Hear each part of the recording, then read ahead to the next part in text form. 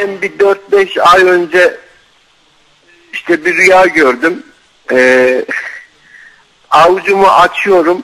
Birden böyle e, örümcekler evi sarıyor. Ya böyle siyah siyah örümcekler evi sarıyor. Hmm. Öyle bir rüyadan uyandım. Evli misin sen? Ev, evliyim Emin Hanım. Ee, iki çocuğun var mı? İkinci olacak Allah izin verirse bir ay sonra. Tamam eve örümcekler sarıyor ya ya çocuk ya da çocuk iki çocuk uyarısı var.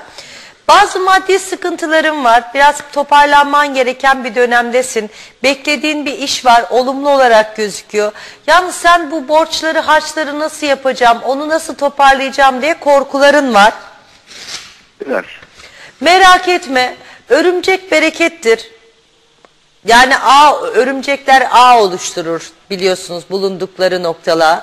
Evet. Siz her zaman Evet. ağınızı, her zaman ailenizi, her zaman evlatlarınızı en iyi şekilde doyurup onlara en iyi şartları sunacaksınız. Sadece korkularınız var yapar mıyım yapamaz mıyım diye. Allah'ın izniyle hepsini başaracaksınız. Sevgiyle kalın. İyi akşamlar. Hoşça kalın.